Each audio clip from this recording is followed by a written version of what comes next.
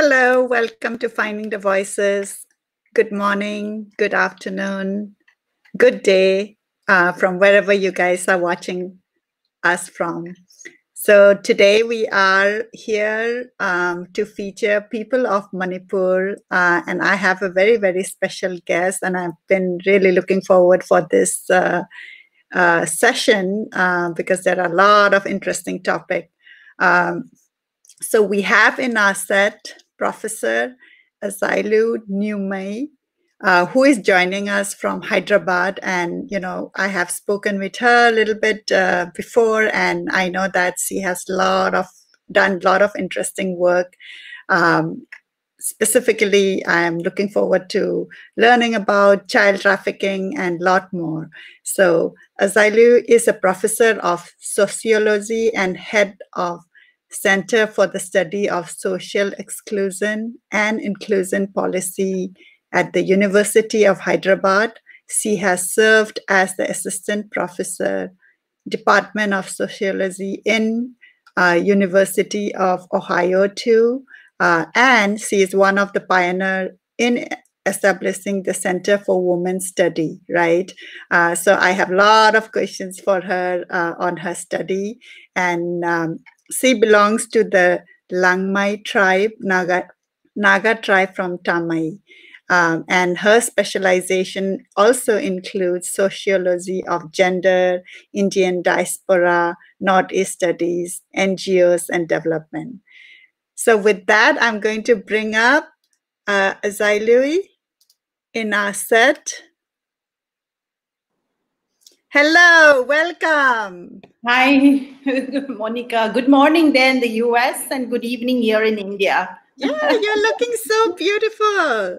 Thank you so much. you want to share about what you're wearing to us? Uh, yeah, so beautiful. A shawl gifted by one of my friend, Siwang Liu, and this is uh, uh, called uh,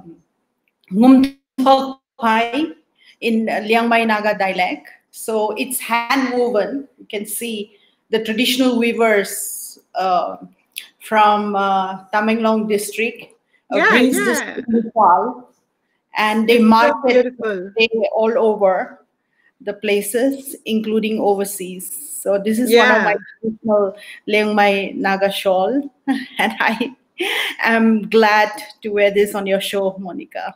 Yeah, I'm so happy. Okay, so I've just zoomed you out and I know you showed the design. Can you show it again? Yeah, okay. Here it is. Yeah, this that's so beautiful handmade design, and these are also made by hand. Mm-hmm. Uh, you can see on the other end, I think uh, is the same thing. Yeah. So both men and women is gender neutral. Both men and women wear this okay. uh, shawl. So you know it's very interesting for a gender expert to see that some of the dress this are unisex uh, there is no demarcation between men and women, but it's woven. It's it's worn by both uh, the gender. So. Okay, absolutely. That's beautiful. That's a good way to start our show. Uh, learning uh, and seeing the beautiful product, um, you know, of Manipur. Uh, and you know, as we see that we have different designs for different tribe, and this is one of them, and it's beautiful. Welcome to our show, and I know that you do a lot of lot of interesting work but we want to hear from you. If you can give us uh, an introduction about yourself, and I'm particularly interested about your background, about where you were born, growing up, and you know, let's start with that. Yeah, okay. Thank you for having me in your show, Monica. And I've been a great fan of yours and often watch your show. So it's a privilege for me to be with you today in this show online.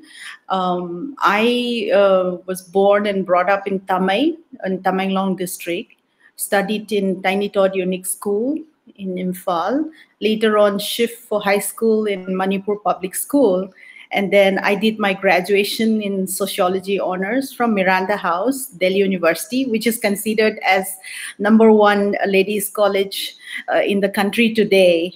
The recent news. Yeah. Uh, I, I heard that. Very excited about that. I know all the I- Mirandian girls are all over the social media saying we are proud to be Mirandians. Yeah, and my sister, uh, Miranda. yeah, her name Yeah, is Miranda, Miranda and did in. Miranda House. So yeah, and and Yeah. I used to go for vacation, and I used to be a paying guest, uh, you know, in in Miranda House. So definitely, I would uh, echo that congratulation and celebration. Yeah, thank you. So I did my MA, MPhil, and PhD from JNU, and my postdoc is from University of Iowa uh, in Midwest near Chicago. And I joined this University of Hyderabad uh, in the year 2000 as one of the youngest faculty right after my MPhil. And uh, I managed to complete my PhD uh, in uh, 2008 uh, because of my teaching and administrative work, I couldn't devote in writing my thesis. So it took quite a while for me to finish. But anyway, I completed. That's uh, good news. And uh, I, you know, as you introduced me, I have been working um, sincerely on uh, gender issues, uh, particularly on human trafficking uh, of children and also girls and women uh, since the past 11 years. And my focus has been on Manipur. And uh, initially, um, uh, I would say that, you know, I never imagined that human trafficking will invade in the state of Manipur and also in other parts of Northeast India. Mhm. Um, so um, to go back to the Eureka, Eureka movement of a moment of my research, um, I would um go back to 2008. I spent a summer holiday with my younger brother Ning Ning uh, in Imphal, and while um, you know trying to go back to Hyderabad, both of us uh, walk into the Imphal airport, and a lady called me out, who happened to know my name. So when I turned back, she said to me uh, that she uh, needs my help. Mhm. And uh, when I asked her, How can I help you? Uh, she replied that her sister is traveling by aircraft for the first time.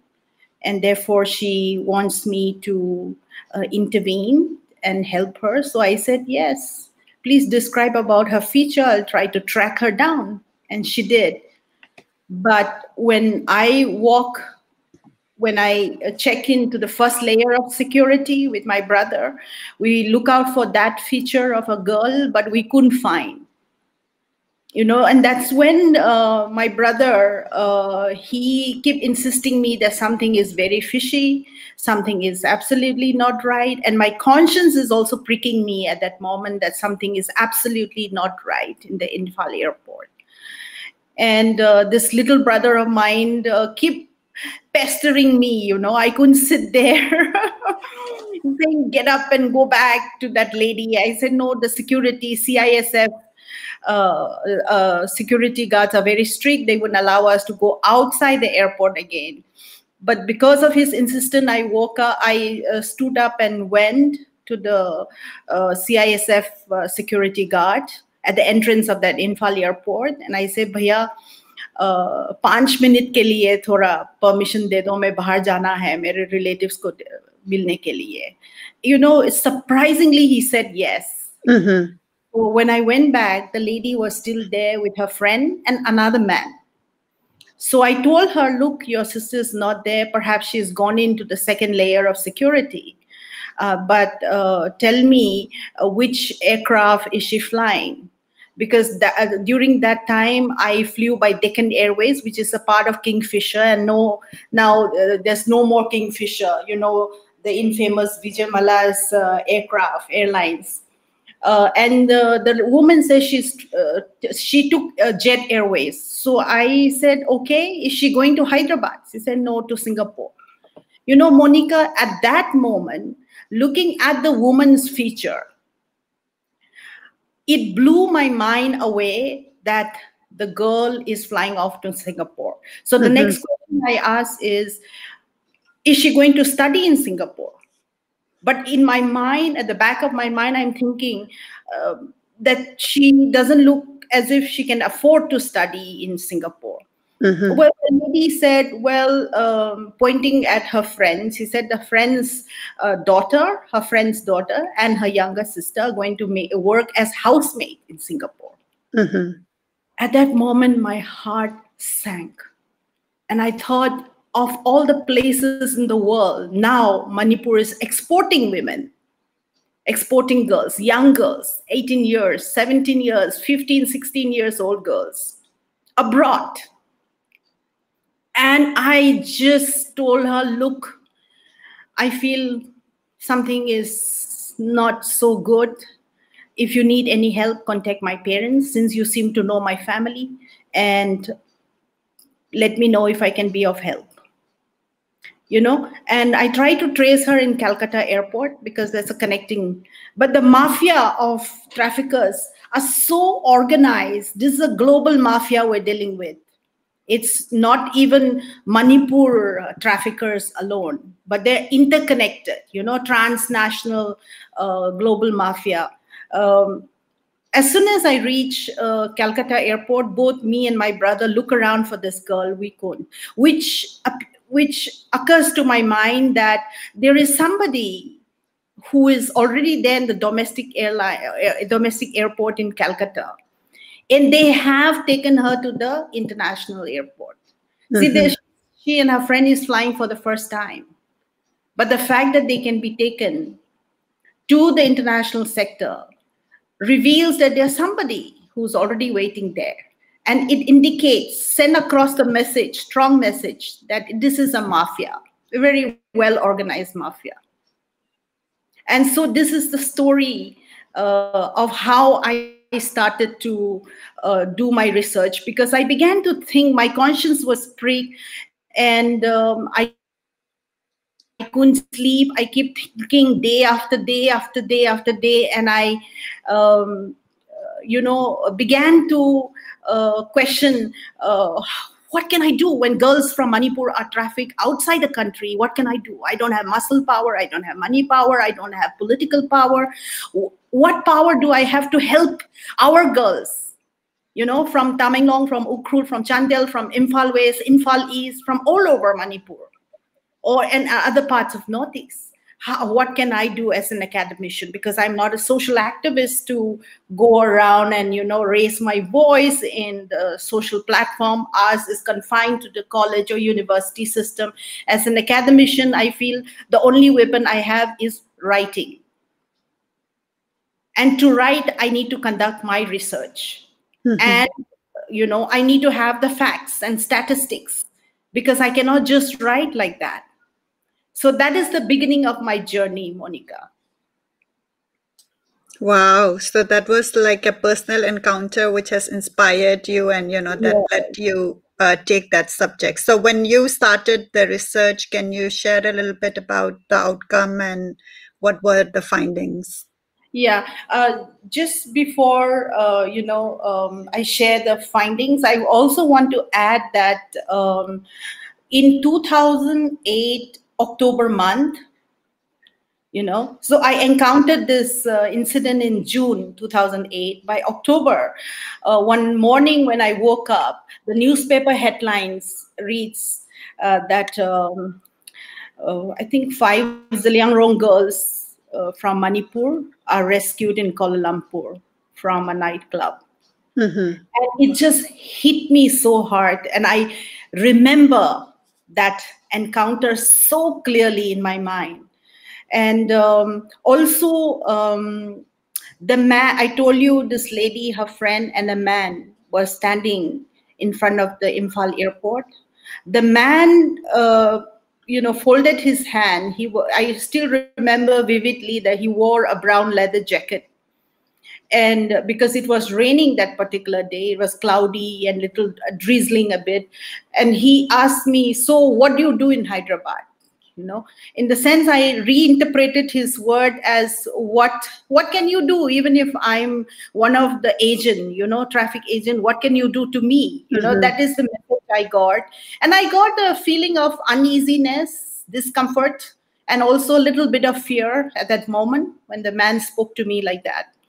So mm. again, the second thing is in October uh, 2008, when this newspaper flash about this girl who was rescued from Kuala Lumpur nightclub. Um, I call up my folks in Manipur, and um, you know, I said this has happened, and it became a bilateral issue between India, um, Malaysia and Singapore. I remember Oscar Fernandes was the minister, minister of uh, External Affairs and also the human rights groups and women's group from the Northeast who are based in New Delhi also intervened. And finally, the girls were brought back to Manipur. Now, in the same year, 2008, December, I managed to meet this lady whom I met in June and uh, interviewed her. Uh, and then I applied to UGC after doing a rigorous uh, literature review, a lot of readings of other culture, other countries, and also uh, trafficking in Andhra Pradesh and other parts of India. Uh, I sent uh, my project to proposal to University Grants Commission (UGC), which they funded me for 2012 to 14. Uh, so during that time, uh, so my now I'll come to my findings. Uh, I look at actually three act, uh, three uh, you know actors. One is the police. The second is the NGOs and the social activists, and then the third is the rescued victims. See, it's very difficult for researchers like us, for professors, um, to interview you know girls and children who are uh, on the way to their destination. Maybe mm-hmm. within india or abroad. Uh, and also it's impossible for us to uh, go to their destination uh, where they are based because it's a mafia control uh, you know setup. So what i did is um, i look at uh, you know i interviewed those children girls and women who are already rescued by the uh, department of uh, uh, social welfare and rescued by the police and also by ngos some uh, in the hill uh, you know children from the hill district the churches the youth leaders and also women's group for example, Tangkhul Shanao Long, based in Delhi, women's group, they're very, very active and quite powerful in rescuing children from Manipur. Uh, so um, I uh, managed to get information from these actors. And so the first finding when it comes to pol police, because I have to look at law and order, um, I found that from 2008, Monica, till uh, around 2011 or early part of 2012 uh, i spoke to three police officers who are ips i don't want to name them. Mm-hmm. uh, they clearly told me uh, look azai uh, we have not arrested anybody. We have not rescued anybody you know? Mm-hmm. Uh, and I, to my shock i was totally shocked because in Andhra Pradesh there's a, a police uh, anti-human trafficking unit. There's a special cell of the police to deal only with human trafficking of girls and children. But in Manipur from 2008 till early part of 2012, we don't have anti-human trafficking unit in my findings. Mm-hmm. But by mid 2012, the Manipur police really beat up, they trained, they began to train, and people like Hasina Kharbhih, who's a founder chairman of Impulse NGO Network, um, and also many other, uh, you know, uh, senior police officers and other noted social activists. Uh, I want to name um, um, uh, Pradeep Kumar, um, and also uh, Montum, uh, Montu Ahanthem, they are doing uh, very good work in terms of um, rescuing the children and uh, also uh, sending them to the shelter homes and many other uh, rehabilitation issues you know in terms of even in terms of policies mm-hmm. now um, so that's that was one major finding which i found monica that the police were not trained uh, till uh, early part of 2012 if i remember correctly. Uh, and that is a great uh, disappointment because from um, uh, 2008 when i began to look into this issue till 2012 there are hundreds of young children young boys and girls who were rescued from all over metropolitan cities. I remember from Jaipur, um, you know, this Tangkhul Shanao Long, the women's uh, group from based in Delhi, uh, along with the local youth leaders, church leaders, and elders from Ukhrul, has brought a lot of uh, rescued children back. Uh, and also from Chandel district, from Senapati, from Tamenglong district, even from Nagaland. And of course, even from uh, Thoubal, uh, Bishnupur, you know, uh, there are a lot of children uh, who were rescued back. Um, uh, so, but then the police were not trained. So that was shocking to me, actually. Mm-hmm. Okay. Uh, so that is one point. The second point is that um, NGOs, there are very few NGOs in Manipur during that time who work on human uh, trafficking. Um, only a handful of them uh, were engaged in rescuing the children because it's a new phenomenon, Monica. So the NGOs are not, uh, you know, uh, keen to focus, obviously, because that's not a social concern prior to that. Mm-hmm. The NGOs have been focusing on environment, forestry, uh, or income generation programs, you know, uh, issues uh, related to climate change, uh, issues related to self-help group, perhaps, um, the issues that matters to the society. And trafficking is a new thing. Uh, so therefore, the NGOs were very few when I did the field work. Um, and uh, so that's that's the second point. point and then the the, the third uh, issue the third, third uh, finding is that um, again a very shocking thing for me is to find that parents willingly send these children mm. And uh, the fourth point I want to say is the traffickers are not foreign people, are not the mainstream Indians, but the trafficking agents are local people. Mm-hmm. For example, in Ukhrul is a Tangkhul, uh, you know, local agent. From Tamenglong district, it's again the, um, uh, the Zeliangrong, uh, you know, the the Rongmei, Zemei, or the Lengmei, you know, the uh, uh sub tribes there. Now each of the tribes have their own uh, uh, languages. So they uh, the the traffickers employ the local agents. In Senapati, they again do the same.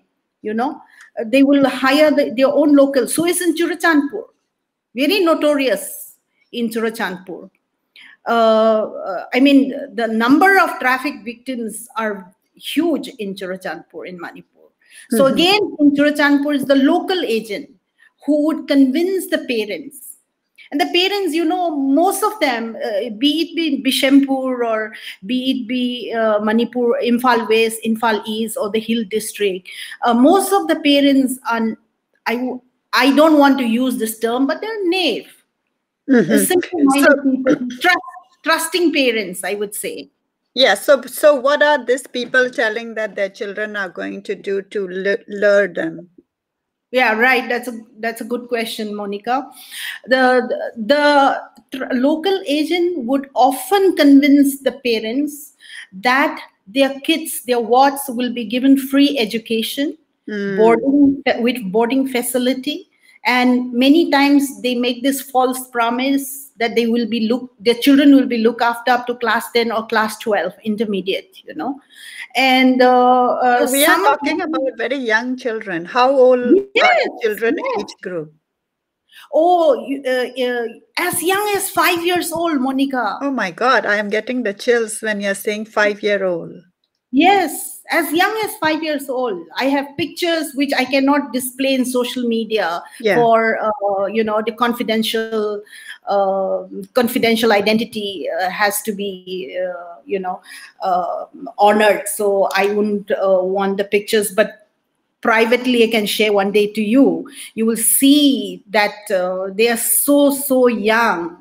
Fi- As as I said, uh, Yeah, and, and you know, like years yeah, Manipur, like the parents, we have that value system of education. So when you hear that, oh my God, like you are, the child is going to be educated in some good place, even in Yeah. the foreign destination, they are willing to send without like much background check or knowing where exactly they are going.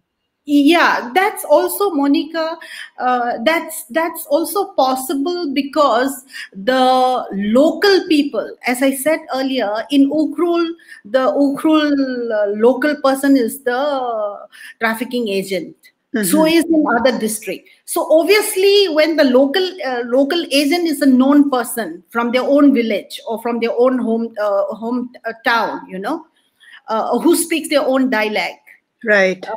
parents uh, tend to trust them and also another uh, interesting thing is that some of the pseudo theologians who are not i do not want to criticize Mm. anybody here but these are facts which is already known it's a it's a open secret to many people who work in the field of trafficking that some of these pseudo theologians also have misused um, uh, you know their um, uh, what do you say their degree by Mm. telling these village uh, parents that look i'm a theologian trained in so and so college and i'm taking your kids to bangalore or to pune or to goa or to hyderabad or to calcutta you know or to chennai because these are the major cities where a lot of children were trafficked from manipur and they were rescued back of course many of them uh, I don't know how many people are still there in their destinations now because there is no statistics. Uh, complete uh, 100% accurate statistics is not available in Manipur. So uh, I have to depend on the field work. You know, the research that I conducted there uh, reveals that uh, thousands, thousands of children have been trafficked, and um, um, uh, not all of them are rescued back till now although majority have been rescued but still there are some uh, even abroad you know regarding this uh, uh, girls who were rescued from malaysia kuala, kuala lumpur uh, they revealed that uh, in 2008 2008 and 9 they revealed that around 150 girls are still there in Kuala Lumpur and Singapore, but they cannot think of returning back because their uh, the traffickers seize their passport. Mhm. So without passports, it's impossible for them to come back, right? Right. So the point I'm making here is that parents are very trusting, Right. Right. and also the the traffickers are very very strategic because they hire the local person who speaks the dialect of that particular village or community. Got it. And another factor, Monica, uh, which I want to point out is that schools in Manipur are in a pathetic condition earlier. I'm sure things are improving today, but in 2008, 9, 10, you know that many of these public schools, private schools, are very expensive for poor parents. And the government schools are not functioning well.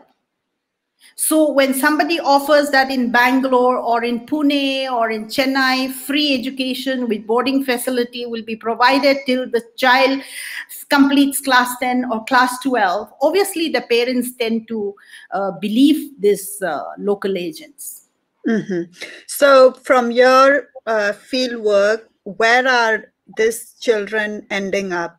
I think the scenario for you know children being trafficked within India, where are they ending up? They, uh, I found that um, a group of them, a huge number of them, ended up in a shelter home in Pune you know, and also a bunch of them in Kerala, another bunch of them in Chennai and uh, Bangalore, even uh, in Warangal near Hyderabad, um, uh, and a few in Delhi. So these are the hot spots where these children were, um, you know, taken to the destination uh, places. And what are they doing? I mean, what what are they making the children do? Yeah, so uh, I want to emphasize this particular case in uh, Jaipur. Uh, in Jaipur, uh, a, you know, dozens of them uh, were kept in the home for a couple of years, and when they rescued, uh, after after they were rescued, the children narrated to us that um, the girls are not sent to school. Only the boys were sent to school, but the girls were made to do all kinds of work uh, starting from domestic chores to cleaning and you know they were made to do a lot of other uh, like uh, any other normal migrant laborers work. Mm-hmm. but uh, the warden of that hostel used to teach uh, the girls in the uh, shelter home. But they were not sent to a formal school Okay. In Pune, one young girl, I, uh, when she was five years old, um, she was kept in this uh, uh, shelter home in Pune. And in fact, she has forgotten, I think she returned back when she was 11 years old to Manipur, and she forgot how to speak her language, local dialect. Mm-hmm. And this young girl said that she was not sent to school.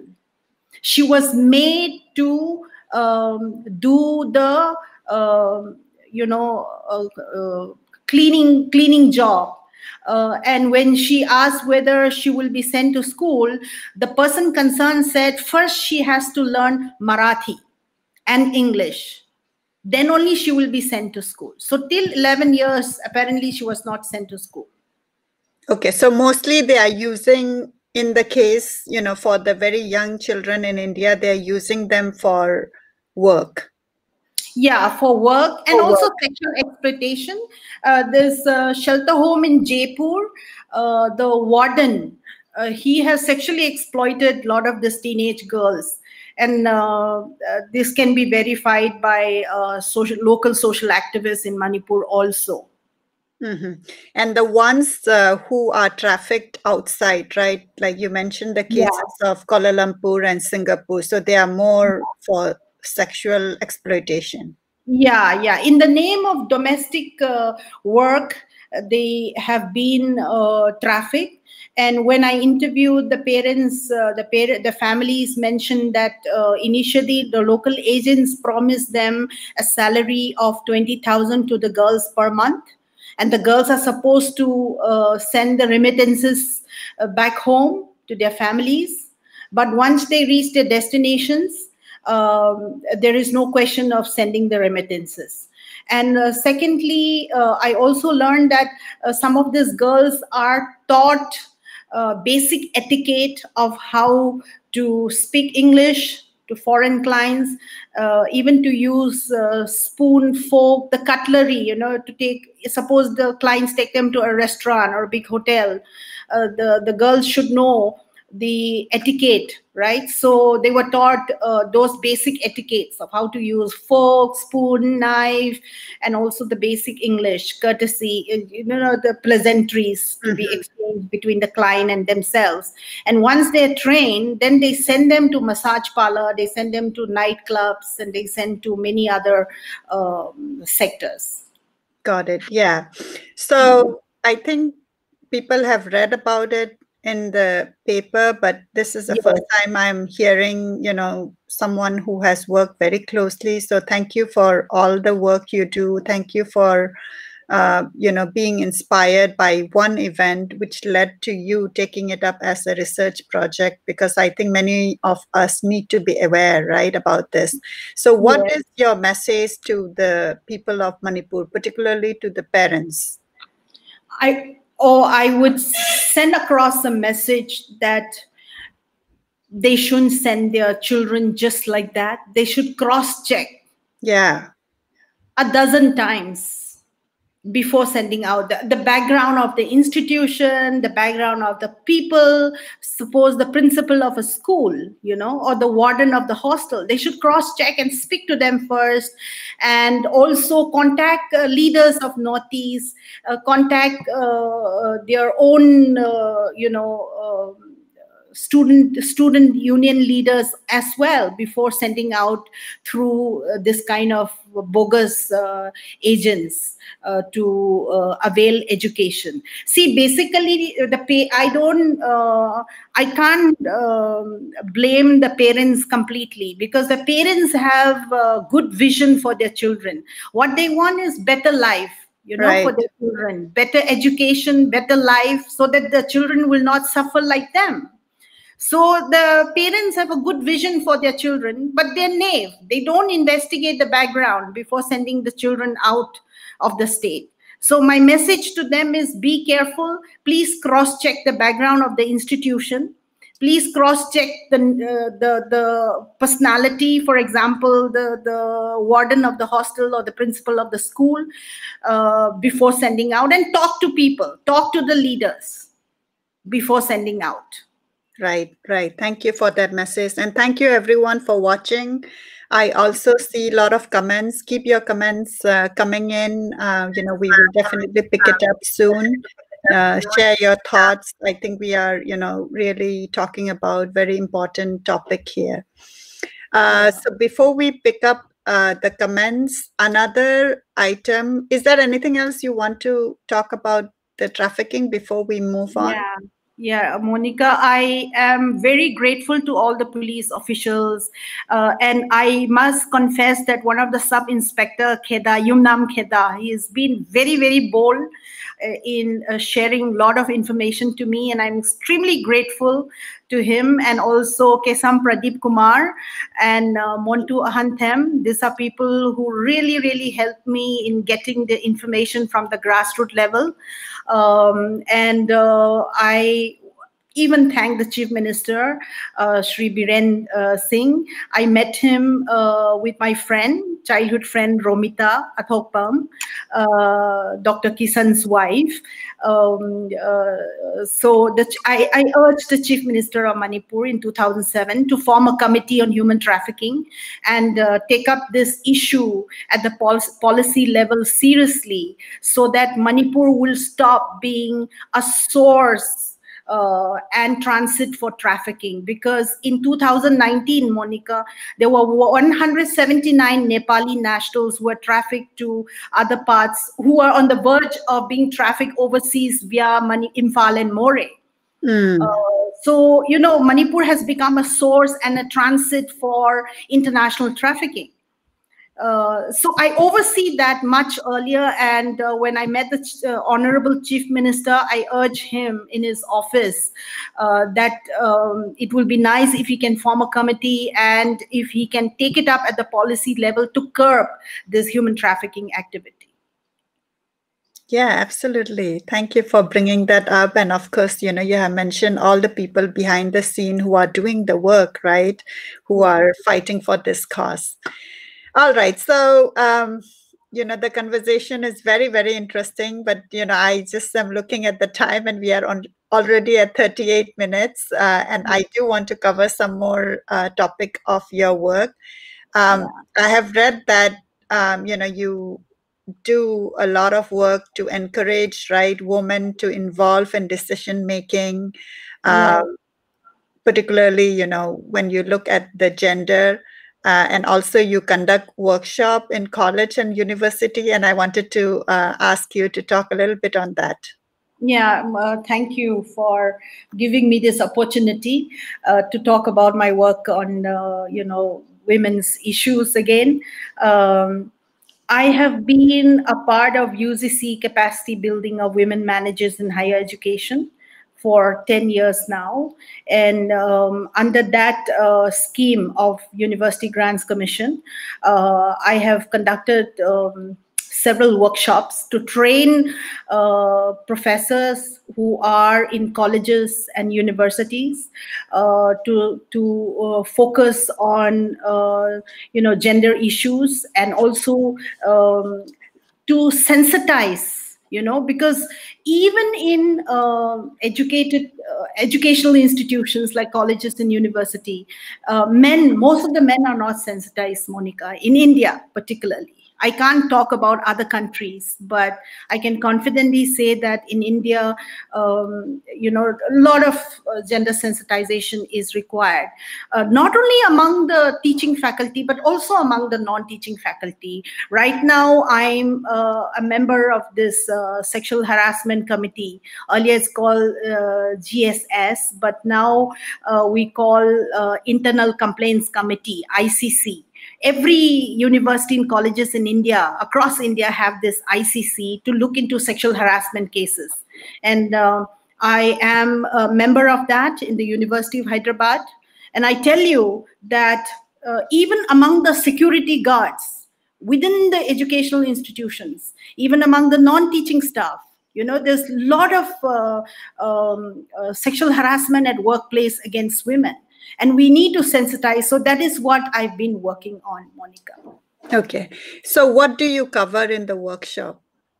We cover a module which is prepared by senior professors. Um, uh, we have uh, you know modules on uh, women studies. We have modules on uh, professional and personal uh, balancing professional and um, uh, you know uh, personal relationships.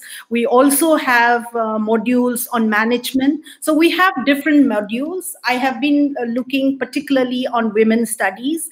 In women studies the focus the central focus is that more women should come into decision making process. Because if we look at india uh, the the percentage of women uh, who are at the high positions like vice chancellor or registrar or even as the dean uh, are very minimal. Yes definitely. I echo that. you know, we you, need you, yeah we need more women in decision uh, making position because that's where like you know the voice of women's issue women's uh, uh, would be highlighted, right? Exactly. So if you look at Manipur University, it's a central university. We haven't have even one lady uh, vice chancellor. We haven't had one lady registrar till today in the history of Manipur University. And let's look at Delhi University, where you and I studied you know we haven't had uh, women at high positions and that's what the uh, you know the the, the thrust of uh, our uh, discussion is that women should come in in the decision making uh, process and that uh, women should also work hard in order. But see we cannot just become leaders in academic institutions just like that. We have to do it through hard work. Yes. And uh, we have to do project we have to uh, conduct research because without research we cannot just write you know? Yeah absolutely. Yeah. Yep. so we and need to take up more research projects. We have to have publications in very good journals and uh, we need to have uh, that capability to lead as a leader. Right right. So i really love that point right? When we talk about uh, gender equality or when we also talk about women to be included in decision making position um, we are talking about that but at the same time we are also talking about competence right? That we have to work hard to get that. So i love that point. Also yeah. i know that you have done a lot of uh, you know other research project uh, which includes uh, Indian diaspora philanthropy. Can you touch a little bit on that and also tribes? And that's what I was like when I was preparing for your interview. I was like, wow, like, you know, there are so many things you have done and we have so less time to talk about. yeah. So, talking of Indian diaspora, I was a part of this Pravasi Bharatiya Divas when the Prime Minister. Um, uh, um, you know, announce uh, that uh, there will be a kind of uh, gathering for the Indian diaspora group, uh, Vajpayee, uh, during Vajpayee's time. Uh, they formed this Pravasi Bharatiya Divas, where all the Indian diaspora across the globe are invited in the month of January to come to India. now, in I think 2006, if I remember clearly. They had it in uh, International Convention Center in Hyderabad. And I happen, uh, the University of Hyderabad has a Center for Indian Diaspora. So Professor Chandrasekhar Bhatt uh, is the founder now. Dr. Ajay Sahu uh, is the only faculty. And uh, uh they have asked me to, Professor Chandrasekhar Bhatt has asked me to uh, join, uh, you know, um, there as a rapporteur. So I joined as a rapporteur for Tamil Nadu diaspora, Tamil diaspora. And uh, Monica, I found that during uh, the diaspora Pravasi Bharati Divas, there are thousands of Indians who come from all over the world. And uh, what, of course, the critics uh, pointed out that what India looks for from diaspora is only funding Hmm. Uh, but nonetheless, it's not only funding alone. There are many other factors, and I don't have time to explain in detail here. But what uh, what touched me during that conference was that um, you know how how how how can I. Um, uh, how can I study people from the Northeast who have migrated uh, overseas? And also how can i uh, look at uh, indians who have been uh, you know contributing for their villages uh, to develop? See there are cases in andhra pradesh as well as in uh, gujarat and uh, particularly in punjab where the diaspora who do well financially abroad come back to their own village and develop their village. They set up hospitals, they set up schools, they even make uh, parks and you know beautify the place and uh, not only healthcare and education, but they also try to bring the holistic development for their own village you know monica so i wanted to look at this philanthropies and therefore uh, i went to the united states and uh, did um, interviewed uh, I think around 36 philanthropists. And it's amazing to see. And one of the interesting finding that uh, came up of this is uh, one of the Indian origin who is actually settled uh, for two generations in uh, South Africa and now lives in the US says that, uh, you know, when they give back for philanthropy. In Hinduism, it's called dhan. When they give back for philanthropy, he feels that um, the rest of his money, he gives 10% or 5% for philanthropy. The rest of his money is sanctified. And that is uh, something that I find it very interesting. I, although I don't agree with him in this respect. interesting concept. Yeah.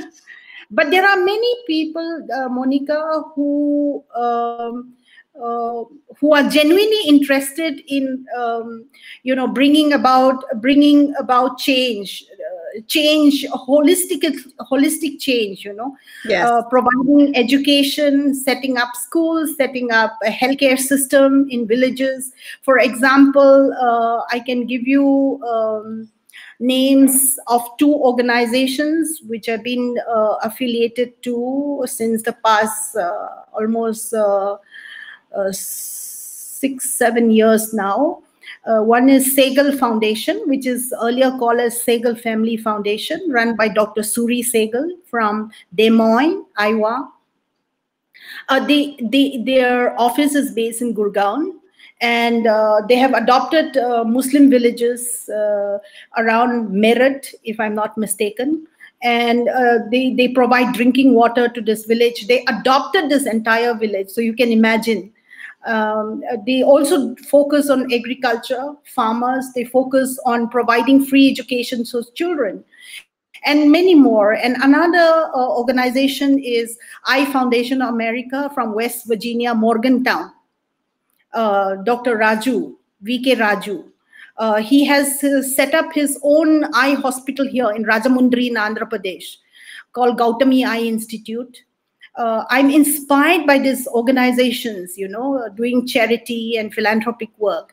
Uh, one of the young men uh, from a very, very poor family, um, I think he must be less than a year when he came to Dr. V.K. Raju, who's an ophthalmologist with 26 gold medals. uh, this boy's parents brought this little boy to him. Uh, I think uh, probably in the late 70s or early 80s. I think is is in the 80s, and the boy has a problem with his cornea, but extremely poor. And during that time, it seems they don't have a machine here, equipment to operate on the child. So Dr. V.K. Raju arranged everything for the boy uh, to come to US. And the boy was operated. Today, he runs a pharmaceutical industry as a CEO, and he's a millionaire, and he donates to Eye Foundation of America.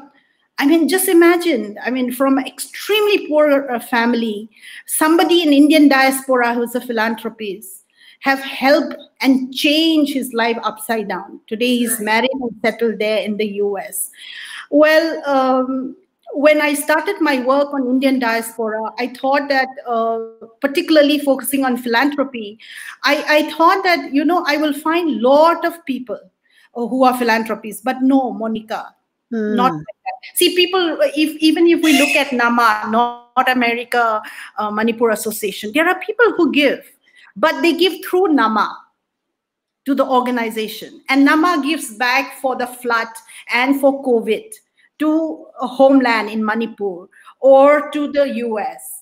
And similarly, even for Telugus, you know, um, uh, Telugu diaspora of North America, and so is other regional. There are people who gives. Maybe it may be twenty dollars or ten dollars or fifty dollars or hundred dollars or two hundred dollars, but they, they, sometimes give to the organizations, and through the organization, the money is uh, remitted to the home home homeland. Yes.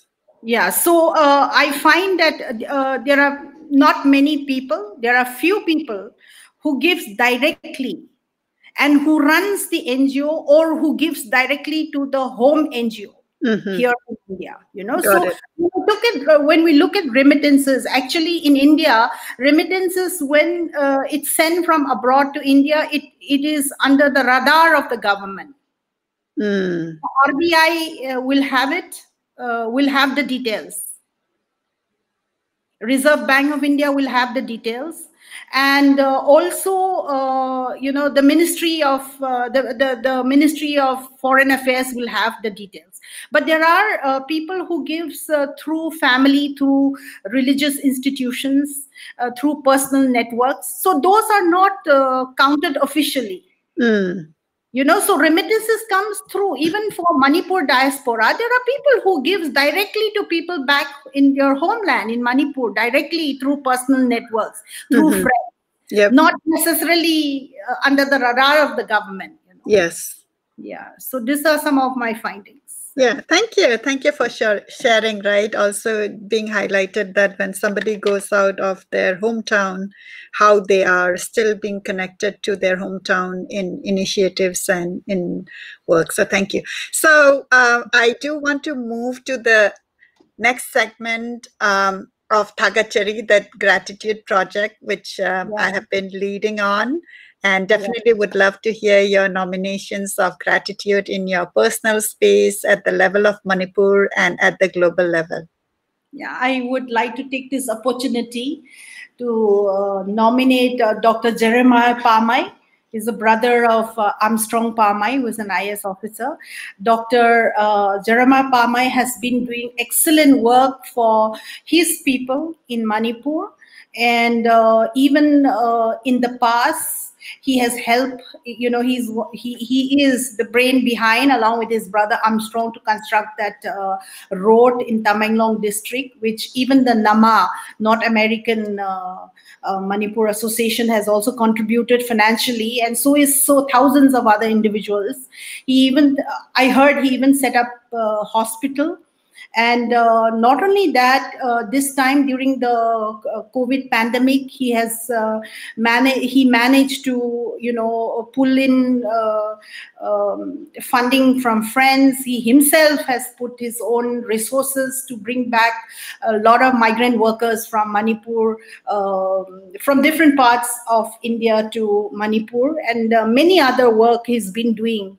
So I would like to nominate him for his good work. Yeah, and here is the picture of uh, Jeremiah Pame. Uh, big thagachari to him for his contribution, and I love, you know, always to hear a new name. And uh, today, you know, I I have definitely like followed his work, and I am absolutely thrilled that today we have him nominated in our show. Yeah. All right. And I must uh, say that your uh, Finding My Voices, Monica, has been an inspiring one uh, especially for me. I find it very soothing, calming, and also a lot of uh, knowledge is gained by listening to your talk show and learned. Recently, you spoke uh, to this person from Shija Hospital, the founder of Shija Hospital, um, uh, and also uh, many other personalities have come, even youngsters are college goers, you know. So uh, you, you, you, I feel that your heart is in Manipur, although you are in the US. you, uh, you, uh, you may be, uh, you know, you may be uh, in in your thinking. I'm sure you must have Americanized to a certain extent, but your heart is still for Sana Leibak. Uh, and I really appreciate you for connecting to all groups of people, you know, through the generations uh, the youth as well as the older generations because we need the wisdom and the knowledge passed down from the older generation. And also the techno savvy smart uh, x generation of the 21st century uh, you know uh, is also required. So you have all uh, groups of people from all the generations in your show. So it's been a great blessing to not only the people of Manipur, but to many people around the world. And I wish you all the best to climb higher and higher in your talk show. Ah, that's so sweet. Thank you for your kind words. And uh, yeah, absolutely. I think um, I grew up with lack of freedom not only the freedom of moving around within Manipur, but the lack of voice, right, of expression, um, because we were never encouraged to speak out what we think, what we want. Um, and so I want this platform to be a platform for the youth, right? Mm-hmm. Also for them to come up and speak and yeah. share their thoughts, right? Like one of the um, one of the show we had uh, recently was about a young boy where he was struggling on uh, choosing his career path uh, based on what he's inspired or following what his parents want right so yeah, i think yeah. bringing up such topic and having a very uh, productive um, uh, discussion is helpful not only for the youth but also yes. for the parents community because the parents i think with very good intention with what they know they are setting limitation but truly they are limitation. But with the world growing and we can be connected there are so many other resources that a child a youth would want to pursue something which is unknown for the parents. And because it is unknown the parents are not supportive because they don't know right what is outcome what is going to be the future yeah. so i have found it very um, you know very productive for us to have that communication. And of course as you have mentioned right we need to learn from our elders. Yeah. we need to know about our roots. We need to yeah. know about our history. And it's right. been amazing. Every time i have a guest we learn so many things. And um, it's been truly a blessing. So thank you for that kind word. Yeah all right. so yeah i want to pick up uh, the comments uh, sure all right so um, we have loitong bam ibungo macha uh, saying watching from sega lambi imphal thank you uh, we have Tasongwi Nuimei watching us. Kaisam Babita. Uh, Kaisam Pradip Kumar says, glad to hear about child and human trafficking issues. Yeah, he's one of the voices, the grassroots level. Thank you, Pradip Kumar, Kaisam. Ningthojam Yaikomba Singh says Manipur government also need to take step. Yeah. Right. Yeah, but what I'm hearing is, you know, you had escalated and you have already presented to the chief minister and yes, uh, I did. But was there any action taken after? Yeah, I heard. I heard uh, that uh, the chief minister has taken it up. My friend has informed me yeah and yeah. you know i think all of us agree that you know we have such a dynamic uh, chief minister who has been yes.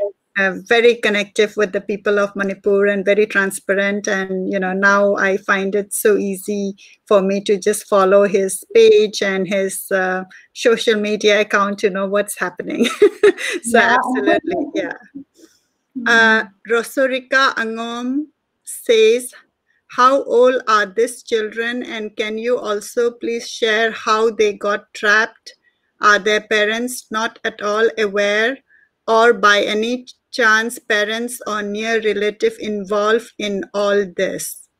Yeah i think i've already as i said earlier the children are as young as uh, uh, five years old onwards. And uh, they were trapped because of the local agent who speak their own dialect, who are from their own community, uh, who promise them falsely, uh, deceive them that they will be given free education with boarding facility. And the parents are trusting parents, you know, very simple minded, trusting parents. So they easily get trapped. And um, uh, I would say relatives perhaps some far off relatives are also the agent but uh, i don't want to criticize any of those because um, certain in in uh, you know monica i used to think that maybe these local agents themselves are deceived by the national and uh, international agents also. Some of these local agents some, not everybody, uh, perhaps are aware that the children, the, the young boys and girls, and even adult women, when they send them outside Manipur, would ended up in brothels for sexual yeah. exploitation or would end up as domestic uh, laborers. You know, they perhaps, uh, some of these agents perhaps doesn't imagine that they are doing this. Some of them may be aware, but some local agent may not be aware as well because they're doing for money. They've been paid to recruit right. children, you know, and mm. women. Yeah. Yeah. So I think very, I think the biggest takeaway is, you know, sometimes we have this innate habit of pointing fingers to others that oh you know the children are trafficked in other places of manipur right so we want to put the blame to the other states or other country but yeah. what we truly have to look inward is the source is people the agents are there in manipur are the local yeah. people talking local dialect. Yes exactly so i think when we want to clean up that's where we need to start. Yeah. Things are slowly improving monica today you know. Uh, the last visit um, uh, to manipur uh, for me is in 2019 last year. And i must say that uh, uh, you know um, parents have now began to alert themselves i mean a lot of awareness campaign has been going on and therefore uh, many parents are now having a second thought of sending so that's yeah. a good trend. Yeah, that is good. Yes. Okay, and a follow up question. And what do you think would be the root cause and solution the government or local people should implement to stop this human trafficking? Yeah, I think the root cause is poverty. And also because Manipur is infected with insurgency and ethnic conflict, you know, and also these are the push factors which pushes the people out, mm. forces the people out. And there's a pull factor. There's the economics theory, which a lot of sociologists also use. The pull factor is the attractive packages from the metro cities, like free education, jobs for young teenage girls who class 10 plus class 10 pass or 12 pass or you know graduate uh, offer jobs in different spas or sales executive. You know usually traffickers will promise them uh, secretarial jobs or good jobs but when they landed up they are given the other jobs which are of lower level and then exploit them so uh, there's a push and pull factor here. And uh, as I said, the root cause is uh, the poverty, unemployment, and also ethnic unrest and insurgency in the past. Uh, and even at present. Uh, the, the, government, I feel, should uh, set up schools, tighten the school system. Because if Manipur has very good educational institutions, schools and colleges, uh, why should our children go out, Monica? Yes. You and I were also forced out of yes. Manipur after 12 because our parents want us to get the best uh, education, right? Yeah, if get the education, get a job without paying money. That was money, one of exactly, our, yeah. Exactly. Like, if Manipur can uh, have a college like Miranda House, Lady Sri Ram College, for example, I'm saying, or IITs, you know, then you and I wouldn't have go out of Manipur for graduation. Yeah, absolutely. Even for postgraduation. So we need the government should focus on providing good educational institutions. That was a and, very good uh, answer. Yeah. Yes, go ahead. You want to add? To, to stop human trafficking, there should be a massive awareness campaign. I feel the Impact TV, for example, Tom TV, all the local TV channels, all the newspapers, Sangai Express, so you know many other uh, uh, local newspapers, district newspapers. They all should focus on stop human trafficking slogan, because human trafficking is always not for sex See, people think when we say human trafficking, oh, it's for yeah. sexual, for prostitution. No, sorry. Please, the public should understand that it's not for prostitution alone. It's it is not. You know, it is for blood harvesting. It is for organ transplant. It is for domestic labor. It is for exploitation of different forms. So when we talk of human trafficking, it is not always about sex. Sorry, that's not the way we should understand human trafficking. Human trafficking is a business of greed, you know, and it's spread across 127 countries around the world. Even America, in the heart of New York, you know, Monica, in the heart of New York City itself, the FBI cannot catch the traffickers. It's that bad. So it's a very serious problem. In Manipur, it's a small state. Therefore, we can control it. We can stop this human trafficking. But there should be a massive awareness um, in all the districts, including the valley.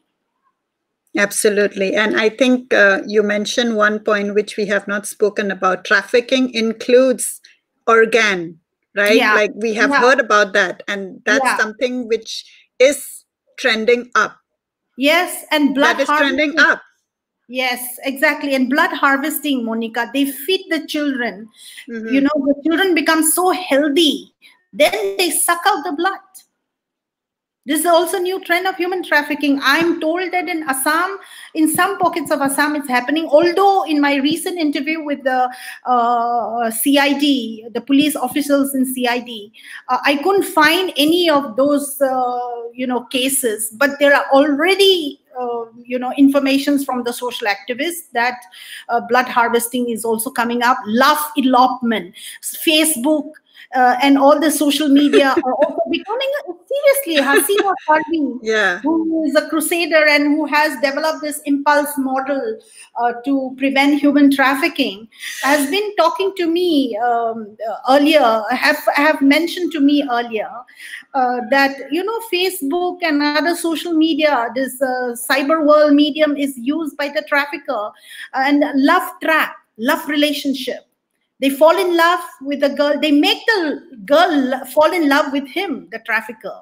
Mm-hmm. and then finally when they meet up they eloped mm-hmm. and manipur elope is a part of the cultural heritage.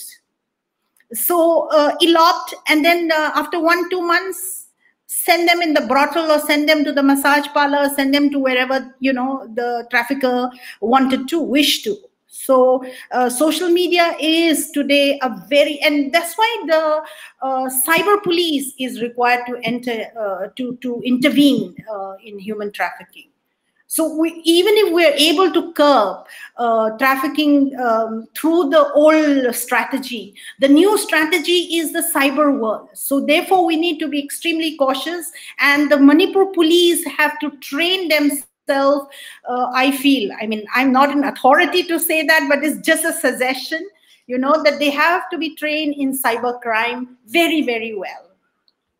Yeah, definitely. So I think it's let's continue this conversation. You know, when you see news about it, let's take it as a personal responsibility to share it so that we are all aware, right? Because there are a lot of youth in the social media which can be used in a productive way, but also it can be used like in a bad way. And uh, particularly the youth feel so glamorized when somebody at the other end would be uh, luring them, you know, with good words, with promises and then they fall into the trap. So we have to be smarter. We have to be super smart to identify that to do the due diligence of background before you jump in into anything be it love. I know a lot of teenagers all of you are watching us so this is a message for you.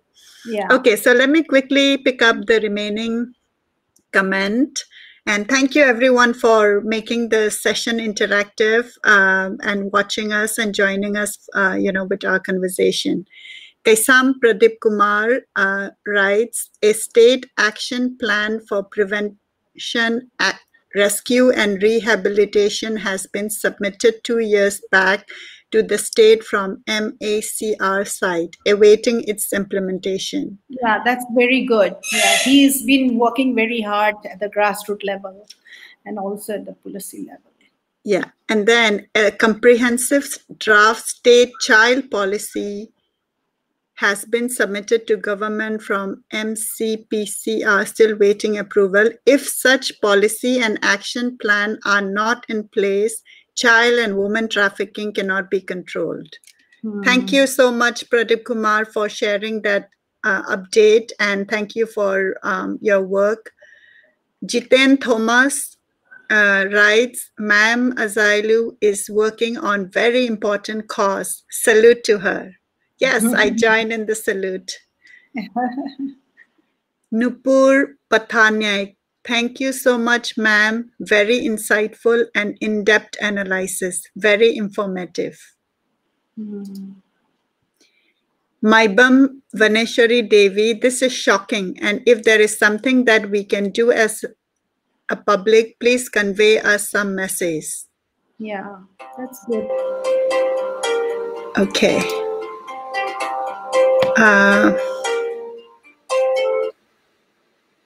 Okay, so I saw a comment that video is not seen, but I do see the video, so I guess it must have been a glitch. Uh, Pamhaiba Rajkumar says, We live in a misogynist and patriarchal society which affects the life of many people. In the name of culture, women are always discriminated from their home itself. What can be done to break these stereotypes? That's a good question. Mm, should I answer, Monica? Uh, and then I want to add one more follow-up question. When do you, when you talk about sensitization, do you include the queer community, community too? Yes, okay, yes. so I think yeah, if you can address those questions, that uh, would be awesome. Yeah, I think the queer community is also very vulnerable in Manipur, um, and therefore uh, we definitely has to uh, include them obviously you know. We cannot think of exclusion. Today we we should focus only on inclusiveness right of the third gender as well. So that includes the queer community. And um, um, you know, when we talk of uh, patriarchal society and the culture in which women are discriminated, yes, I think if we look at uh, our own society in Manipur, for example, among the Meiteis, Monica, you know very well, my aunts have been married to the Meitei men.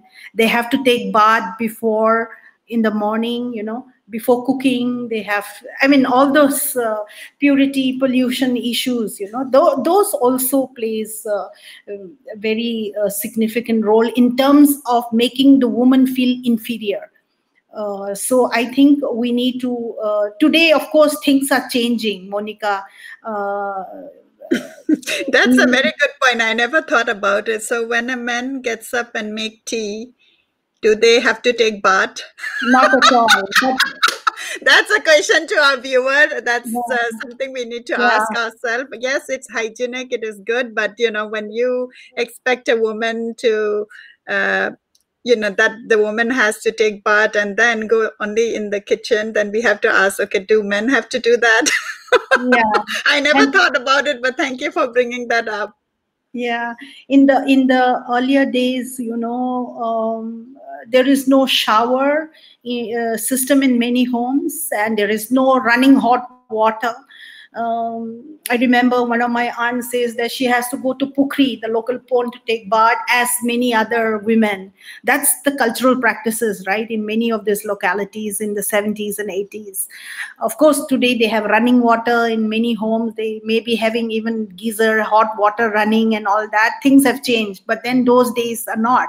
And uh, of course, today in many uh, mid, uh, lower middle, uh, lower lower middle class and uh, poor income group, they still have to go to the local community pond to take bath. Women have to take bath, I mean.